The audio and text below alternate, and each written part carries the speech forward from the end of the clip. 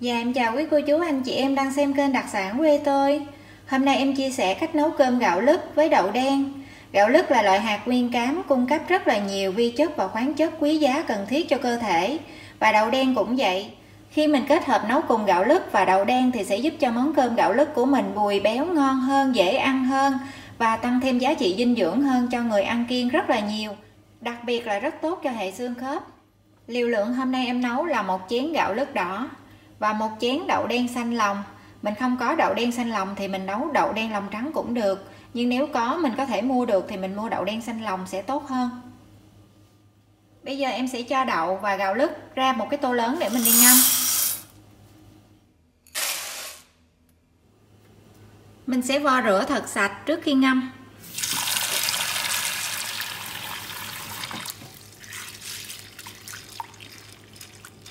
Với đậu đen mình cho nước vô. Rồi cái hạt đậu nào mà nó nổi lên á, thì mình vớt bỏ. Em mua đậu lần này á em mua đậu đợt này em thấy cái đậu này nó nổi nhiều nè. Tức là đậu này là đậu sâu bị hư bị lép đó. Thì cái này mình vớt bỏ đi.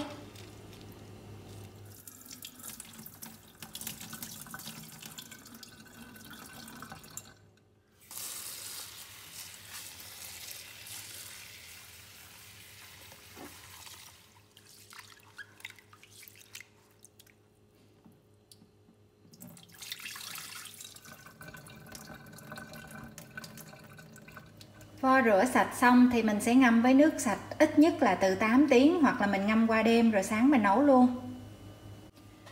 Đây là gạo lứt và đậu đen em đã ngâm qua một đêm dài thì bây giờ nó đã sủi bọt như thế này. Nếu như đậu đen và gạo lứt mà mình ngâm khoảng tầm 8 tiếng thì nó không có sủi bọt. Mình cảm thấy mà nước đậu nó không có sủi bọt thì mình có thể dùng cái, lại cái nước này mình nấu nấu cơm luôn. Còn nếu như nó đã sủi bọt như thế này thì mình nên rửa bỏ. Bây giờ em sẽ rửa bỏ đậu và gạo lứt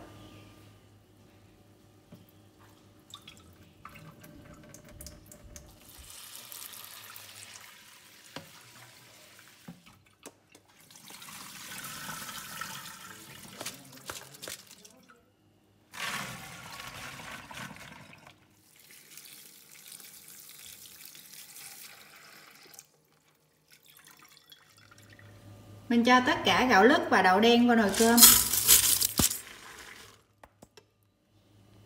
Em cho thêm vào đây nửa muỗng cà phê muối. À, để cái hạt đậu của mình khi ăn nó sẽ đậm đà hơn. Cái này á, thì tùy. À, ai thích để thì để còn không thích thì không cho cũng không sao ha. Lượng nước để nấu cơm thì mình sẽ tính.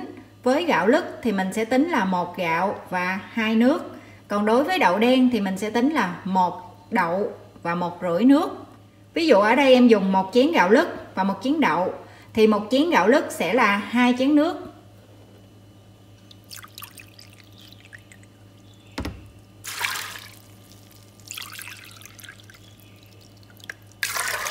Hai chén nước và một chén đậu sẽ là một chén rưỡi nước. Một chén một chén rưỡi bởi vì đậu không có nở nhiều, giống như là gạo lứt. Vì đậu mình đã ngâm, đã nở rồi, khi nấu nó không nở nữa. Mình sơ đều lên trộn đều lên.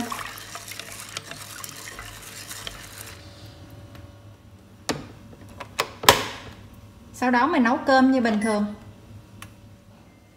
Khi nồi cơm đã bắt đầu chuyển qua nút hâm, thì mình cũng đợi thêm khoảng 10-15 phút nữa thì mình mới dỡ nắp ra, giống như là mình nấu cơm bình thường vậy đó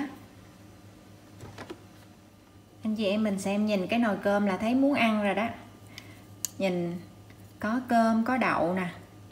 Cái màu cũng hấp dẫn nữa. Mình sẽ dùng đũa mình xới cơm lên. Đó, tơi xốp nè, ngon chưa?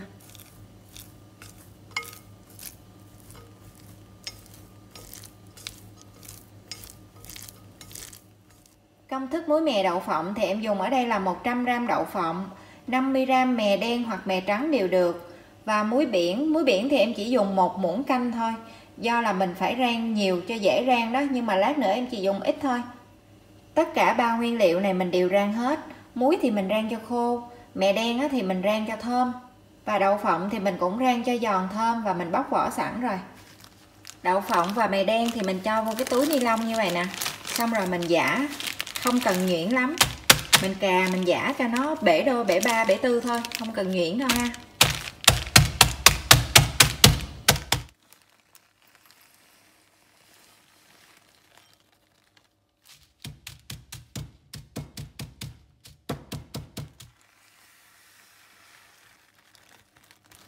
Mè đen á, thì mình đập dập ra như vậy nè thì mình ăn mới thơm. Muối á, thì mình cũng giả nhỏ ra rồi. Mọi thứ đã xong. Thì em sẽ cho đậu phộng và mè đen chung nè. Và thêm một muỗng canh, một muỗng canh lưng lưng vừa vừa thôi ha, một muỗng canh muối. Đó, như thế này thôi. Em thấy là cái công thức này là vừa ăn nhất tuy nhiên thì anh chị vẫn cứ làm như như vậy, mình cứ cho muối từ từ. Sau đó thì mình mình trộn đều lên, xong rồi mình nếm thử, mình ăn thử, mình thấy coi có vừa ý với gia đình mình chưa. Ừ, nếu thấy lạc thì mình có thể cho thêm. Nhưng mà em thấy cái công thức này là vừa ăn rồi đó. Mình làm muối ít ít nhạt nhạt thôi để ờ, mình ăn đậu nhiều, mè nhiều cho có dinh dưỡng. Chứ mình làm muối nhiều quá thì ờ, ăn muối mặn quá cũng không tốt. Như vậy là xong rồi.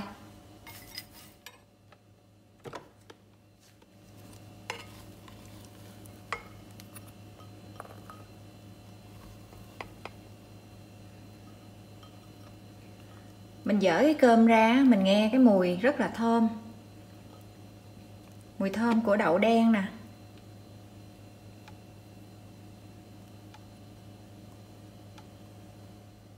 Cũng là chén cơm gạo lứt, nhưng khi mình nấu với đậu đen thì nhìn chén cơm rất là hấp dẫn nè. Hấp dẫn hơn và muốn ăn hơn luôn á. Gạo lứt thì ăn với muối mè, sẽ rất là phù hợp luôn bây giờ em sẽ ăn cái à, cái đậu cho anh chị xem nè. Cái đậu nó rất là mềm ha.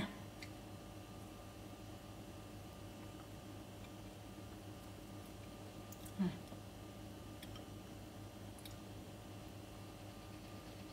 Đó. Cái đậu nè, nó rất là mềm. Đó. Khi mình ăn vào thì mình thấy nó hơi mặn mặn nhẹ và nó mềm, nó bùi bùi, ăn rất là ngon.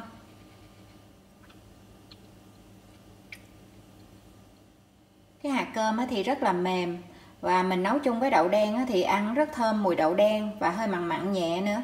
Nói chung là thơm, ngon, dễ ăn và ngon hơn. Nếu như mà ai đang ăn cơm gạo lứt mà thấy ngán thì mình thử, mình chuyển qua mình nấu cái kiểu này.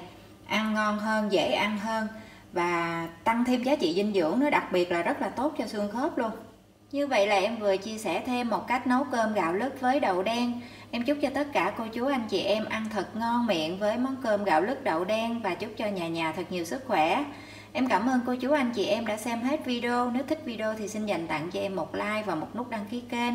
Và đừng quên nhấn cái chuông để nhận được thông báo khi em ra video mới. Bây giờ thì xin chào và hẹn gặp lại ở video tiếp theo.